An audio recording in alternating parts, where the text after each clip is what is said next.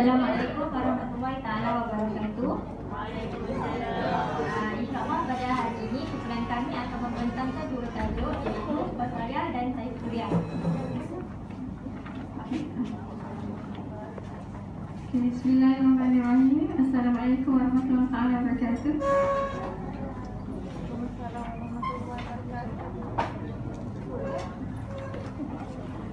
Ya, Al-Qasariyah Al-Qasariyah ni Hum allazina yantamuna ila Abdi Saleh Hamdan Ibn Ahmad Ibn Amarah Al-Qasar. Uh, Al-Qasariyah ni diasaskan oleh Abdi Saleh Hamdan Dia telah wafat pada 271 Hijrah di Nisabur Ada ulama ahli sunnah wal jamaah merupakan salah seorang daripada ahli sunnah wal jamaah A'lam at-tasawuf as-sunni fi kurun as-sari al-hijrah. Jika dikenali sebagai ahli tasawuf pada kurun yang ketiga hijrah. Uh, Tariqah al-Qasariyah ni uh, Azharu wa nashru al-malama. Maksudnya dia Maksudnya dia jelas dan maklum tentang malama. Malama ni maksud dia celaan ataupun uh, rasa rendah diri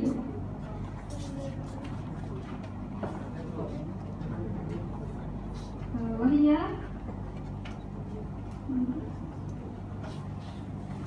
Wahia lawul ahadin nafsihi bihaitu la yara di nafsihi hazard uh, Maksud celaan tadi uh, Kostarian ni Seseorang yang tidak melihat diri itu sebagai satu keuntungan. Hazard tu maksud dia keuntungan ataupun kelebihan Maksudnya Qasaria ni sentiasa melihat diri dia tu uh, serba kekurangan. Tidak sempurna untuk mengabdikan diri kepada Allah.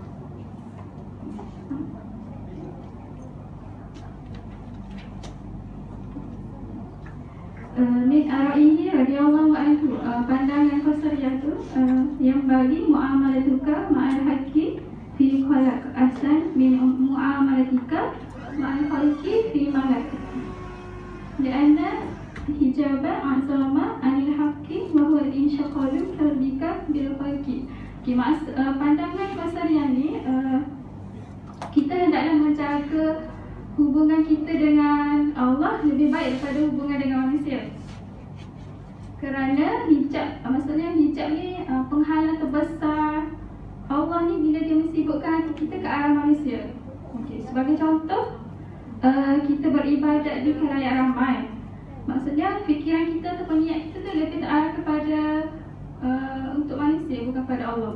Jadi sebab itulah penghalang Allah tu untuk hati kita tu sentiasa ingat kepada manusia. Okay, faham?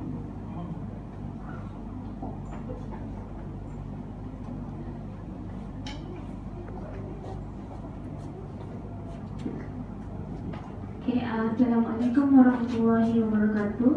Uh, Kita masuk dengan uh, uh, Hum al-ladina yantimuna ila Abu Yazid Taifur bin Isa uh, Syurusan al-Bistami Iaitu mereka ni adalah uh, pengikut Abu Yazid Taifur bin Isa Syurusan al-Bistami uh, Dilahirkan pada 188 Hijrah di daerah Bustam di daerah Khorasan dan meninggal dunia pada 261 Hijrah di Bustam.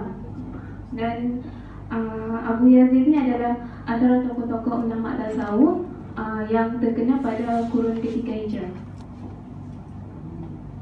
Uh, ini adalah fahaman uh, Tariqah Al-Taiburiyah iaitu Mulaba Al-Sukru. Uh, Mulaba Al-Sukru ni dia ni mempunyai satu maksud yang satu maksud yang utama iaitu uh, orang yang terlalu asyik ataupun orang yang terlampau kasih kepada Allah uh, sehingga kan dia uh, tidak memikirkan uh, hal-hal yang lain. Uh, contohnya uh, seseorang tu dia beribadat uh, sehingga kan uh, dia tak sempat nak fikir hal-hal keduniaan. Uh, yang ini adalah perbandingan makna asukru wa sohu uh, yang first adalah asukru walaba walaba walaba mahabbatillah uh, kira maksudnya sama macam tadi yang asohu tu uh, husulu husulu murad uh, yang maksudnya uh, sampainya kepada kita ni uh, perasaan sedar kepada Allah yang kita rasa uh, dalam diri kita ni kita timbul rasa kepatuhan kepada Allah dan kita merasakan semua apa yang berla- berlaku berlaku di hadapan kita ni uh, ditakdir oleh Allah. Uh, berbeza dengan kita sedar macam sekarang ni. Yang sekarang ni kita sedar macam mana? Kita sedar tapi kita sedar dalam keadaan yang lalai. Okey. Uh, seterusnya.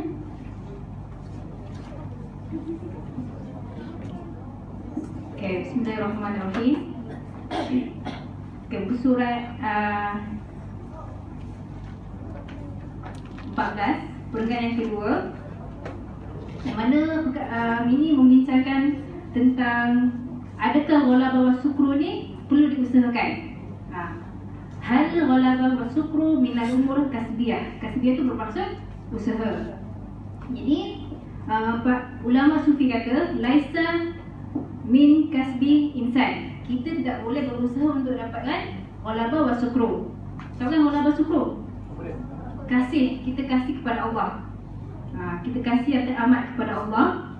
Kemudian wala yashu taklid fihi ma wala iktidai fihi ma. Maksudnya kita tidak boleh nak taklid ghalabah wa sukru tu dan juga kita tak boleh nak ikut-ikut orang dah dikurniakan ghalabah wa sukru. Kita tak boleh nak ikutkan orang yang dah dapat ghalabah ni. Sebab sebabnya di satu ada nikmat. Sebab tu diberikan nikmat. Okay. ha, tapi walau bagaimanapun ada sebahagian ulama yang kata uh, walau bahawa ni boleh diusahakan taklifan. Uh, kalau ba'duhum dijawazi suluki tariq al-ghalaba wa sulu takalifan maksud takalif ni adalah paksa dibuat-buat. Uh, mereka ini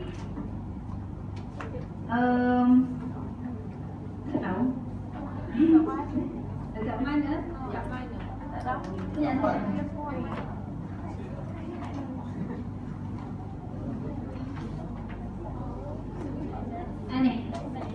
surah 14 Perenggan yang ketiga. Baris yang kedua. Dia kata Torik sukru wa ghalaba bitaklif Jumpa? Ha. Dengan orang berdasarkan hadis Rasulullah uh, um, Ibuku fa'in lam tabuku fatabaku Maksudnya Menangislah kamu. Jika kamu tak dapat menangis Maka buat-buatlah menangis. Sebab dengan cara ini kita dapat mendekatkan diri kita kepada Allah. Dan hadis yang kedua Man tashabaha biqaumi fahuwa minhum. Maka ikut barang siapa yang mengikuti suatu kaum itu Maka mereka mereka tergolong daripada kalangan mereka. Dan sebahagian ulama sufi juga mengatakan um, Musyahadat mawarisu al-mujahadat Penyaksian kepada keagungan dan kebesaran Allah itu Terhasil daripada kesan mujahadat okay. ya. Jadi pendapat yang sahih, pendapat yang benar Ghalabah wa sukru ni tidak boleh diusahakan Tidak boleh dipaksa-paksa Sebab kalau kita paksa Takut syaitan yang masuk Syaitan yang menghasut kita hmm. Jadi Maka kesimpulannya Bukan sebab tu terhasilnya Kita cinta kepada Allah. Kalau Allah nak bagi Allah bagi nikmat tu. Okay Seterusnya?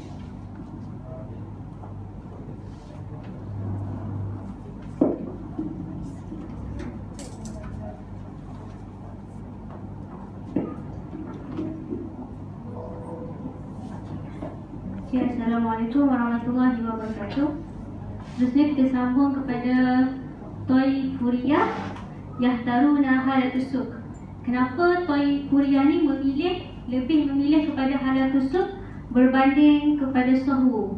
Ada dua sebab. Okay, sebab yang pertama Kalau kat buku muka surat 15 Okay, sebab yang pertama As-sukru jihabun sifatil basyariyah wa ihtiyaruha wa wujudu takbiril haq fiha. Okey, maksudnya kat sini bila seseorang itu dia berasa sangat kasih kepada Allah akan hilang daripada dirinya sifat kemanusiaan sifat basyariah tu iaitu sifat angkuh, sifat sombong dan juga dengki dan juga segala sifat-sifat mazmumah okay. bila hilang sifat tu jadi dia tak ada ikhtiar untuk dirinya dia nak buat sesuatu benda itu tiada ikhtiar maksudnya kat sini kalau dia buat pun dia rasa itu ada dengan takdir Allah Okey, uh, lepas tu dia akan rasa takdir Allah itu wujud dalam diri dia. Semua perbuatan dia rasa Allah yang takdir. Contoh uh, macam dia tengok dia makan kan, tapi dia rasa Allah yang takdir dia makan. Bukan dia rasa macam sebab dia dia makan.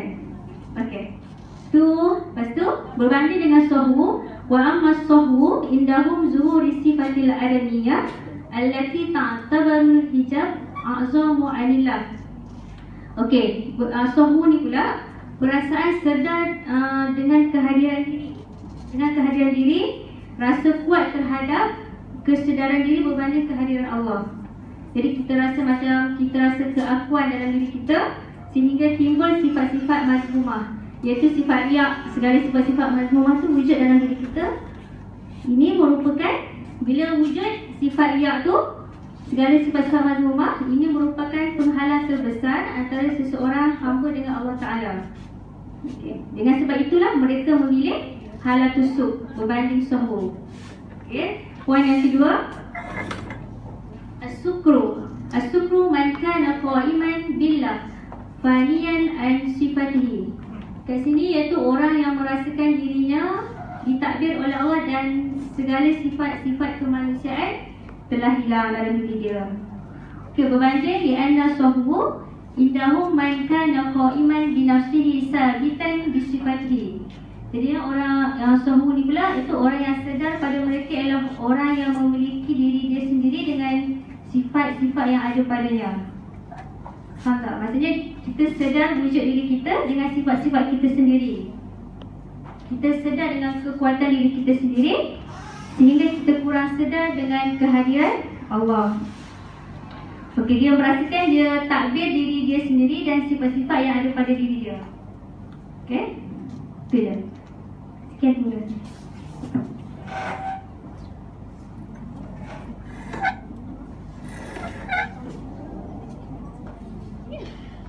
Uh, Bismillahirrahmanirrahim. Assalamualaikum warahmatullahi wabarakatuh. Uh, di sini dia ada dua pandangan, pandangan pertama dan pandangan kedua. Yang tadi uh, dia cakap tu adalah pandangan pertama. Uh, saya sambung daripada slide dia. Um, Idafatu fi'lil abdi ila al-haqqi afdalu min idafati fi'lil haqqi ila al-abdi.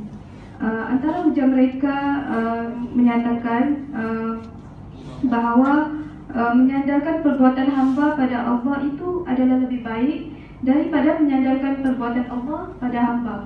Uh, golongan ini memilih as-sukru lebih baik daripada as-sahu. Kenapa mereka mengatakan begitu? Sebab uh, dorong ada hujah mereka uh, dan dorong membawakan contoh. Yang pertama, um, kisah Muhammad sallallahu alaihi wasallam um, boleh bu- buka muka surat 14 eh 15 perenggan ketujuh uh, baris ketujuh.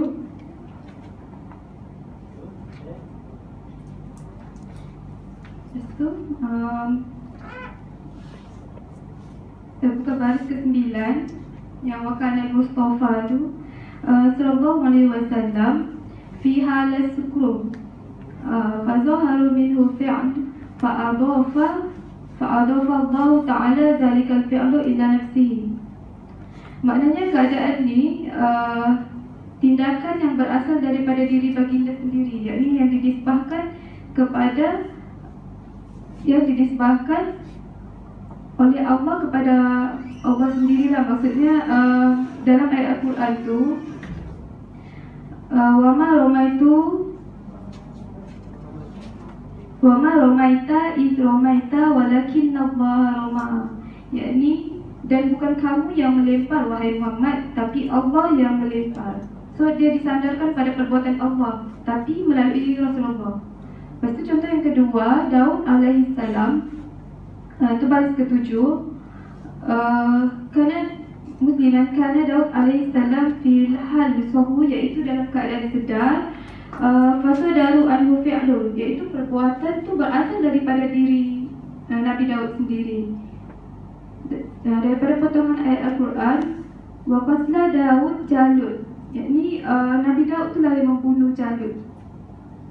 Boleh faham?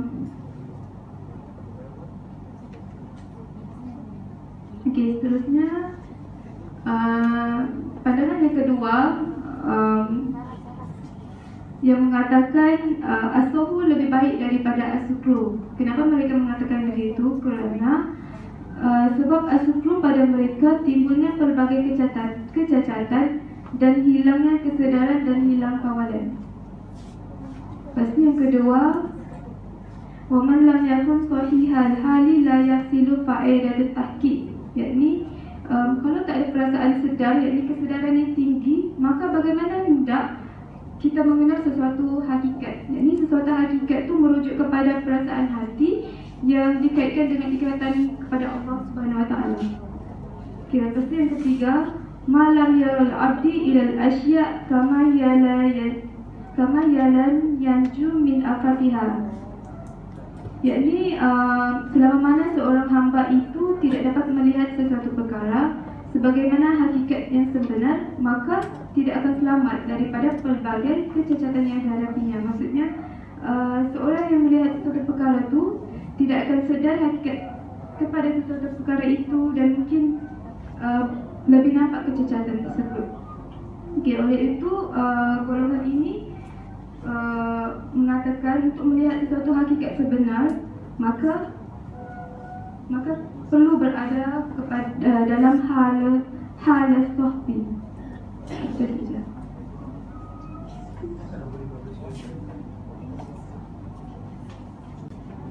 seterusnya adalah pandangan Sohid Yang pertama, Asyikul Mas'am Siwar Wakamal Sohibul Sikru Huwa Sikwa wahidu darajatuhu ru'yati ajizil basyariyah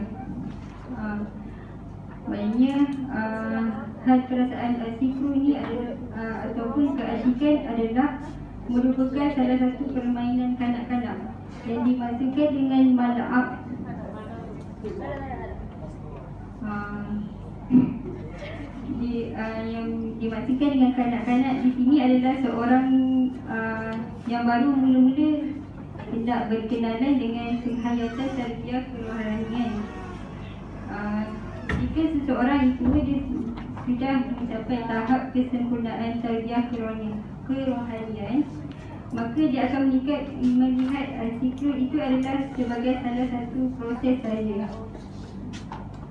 Okey, uh, seterusnya sehinggalah sampai kepada tempoh matang maka seseorang itu akan hilang sifat asikru iaitu sifat keasyikan tadi maka timbullah sifat kesedaran kehambaan yang tinggi iaitu asuhu okey uh, yang kedua asikul ladzi yabdu apa apa afdalu minasi kurul ladzi wa ainul apa? Satu kita uh, mungkin surat sebelah uh, tujuh.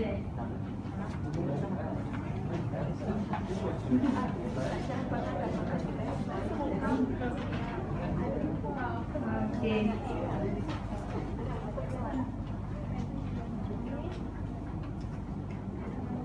Uh, kesedaran Asifu adalah hal sedar yang dapat dilihat daripada kecacatan Kecacatan ni adalah merupakan sifat-sifat mazmumah yang ada pada diri seseorang itu. Jika dia menyangka bahawa uh, kecacatan itu adalah lebih baik daripada hal keasyikan ataupun asyik asyikru uh, yang merupakan diri kecacatan, maka dia melihat bahawa asyikru itu adalah uh, memadai dengan kecacatan saja. Tapi kalau dia melihat uh, asikru adalah merupakan kecacatan yang lalu lalu dia meninggalkannya maka dia akan menjadi uh, seorang yang sedar ataupun asuku okey. Uh, yang seterusnya. Asikru kuluhu wazan uh, fana fi ainil baqa'i sifat wa hadha huwa al-hijab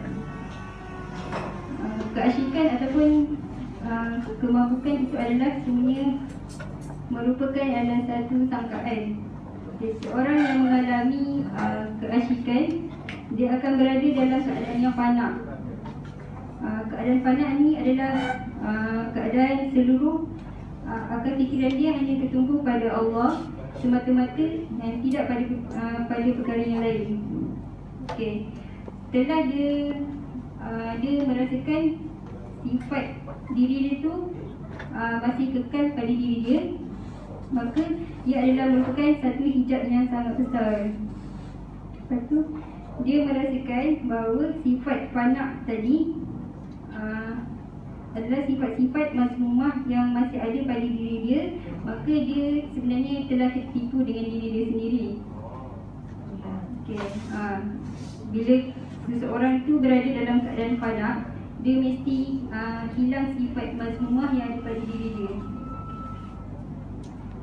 uh, okay, yang seterusnya Asifu fuluhu ru'yatil babak Fil pana'i sifa Wahada wa ainul kasyaf Maknanya hakikat as-suku tu Yang sebenar adalah uh, Dia dapat menyaksikan sendiri uh, Keberkekalan Yang hilang dari sifat mazmumah Yang ada pada diri dia.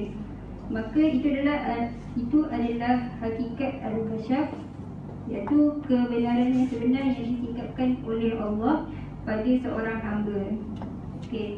Manzona anal adalah kashfa aqrabu ila husul fadak min al-suku wa huwa barang siapa yang menyangka bahawa rasa keasyikan ataupun kemampukan itu uh, hampir sampai kepada makna fana uh, jadi jika nak dibandingkan dengan sifat asifu untuk sampai pada fana maka seorang itu uh, dia telah tersilap langkah Hmm. Seterusnya.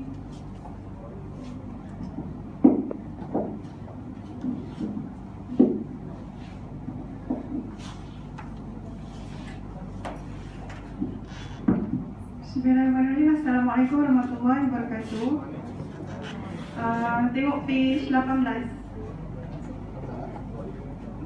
Okay, Asukru Nau'ain Okay, uh, Asukru tu apa? Mabuk asyik lah Asyik.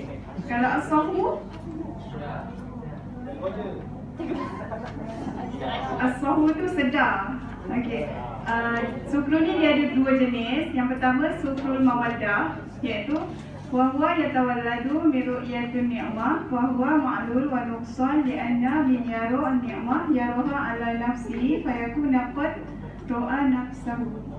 Okey, maksud sukru al-mawaddah ni rasa asyik. Rasa asyik uh, ataupun kasih ataupun sayang. Mawaddah tu kasih sayang lah. Uh, Dia rasa asyik kasih sayang. Okey, yang mana perasaan sukru mawaddah ni dia muncul Apabila kita ni hanya melihat kepada nikmat yang diberikan Contoh macam nikmat sihat Kita tengok pada nikmat sihat je Nikmat cantik tapi uh, bagi suku mawadah ni orang tu dia tak tengok kepada pemberi nikmat tu. Dia suka pada nikmat tu je. Uh, dia tak tengok pada pemberi nikmat tu sangat. Pemberi nikmat tu siapa? Allah. Okey, uh,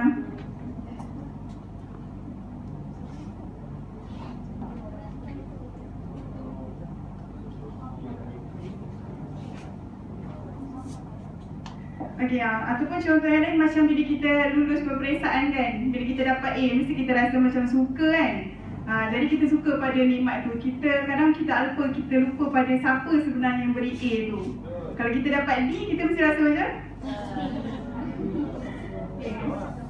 Okey, perasaan uh, Sukru Al-Mawadah ni dia ada kecacatan dia.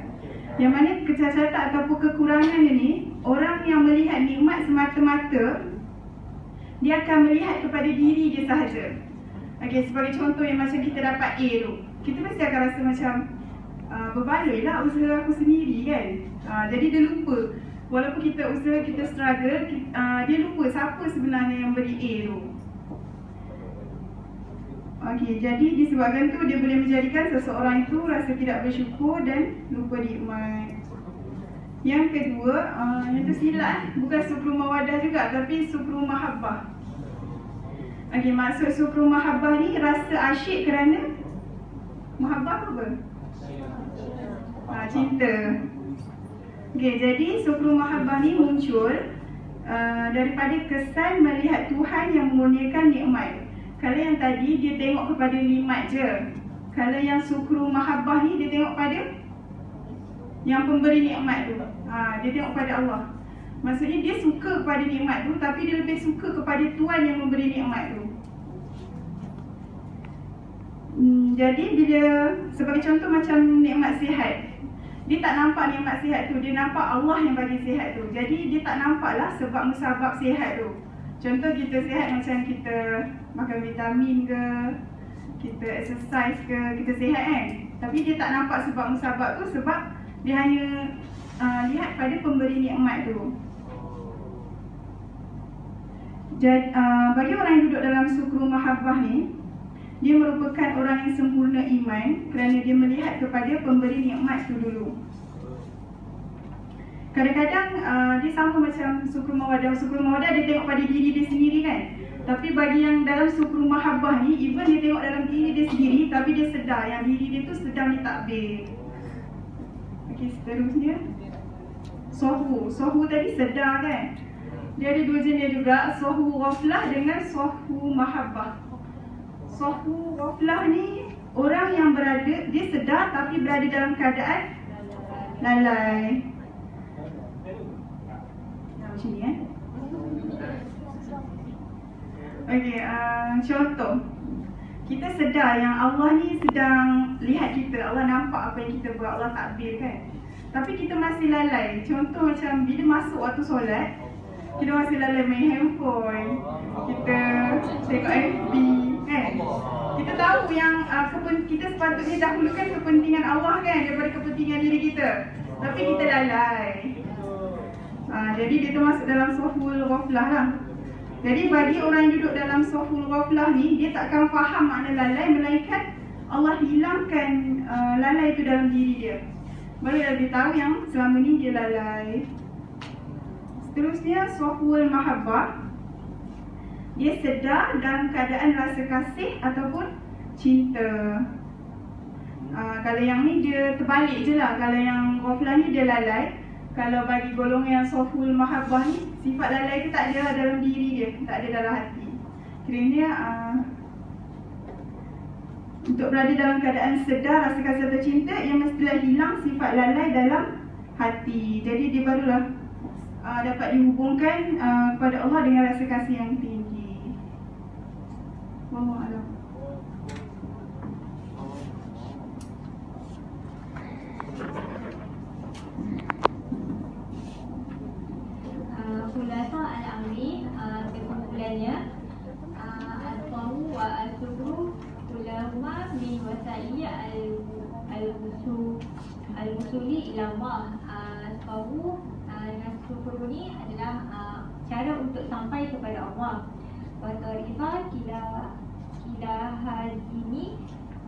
makna ini mausulani bi ahdahima al-ukhra falihaya falihayati ahadihima bidayah al-awal uh, ianya uh, dengan uh, syukur ni adalah uh, saling berhubung antara satu sama lain.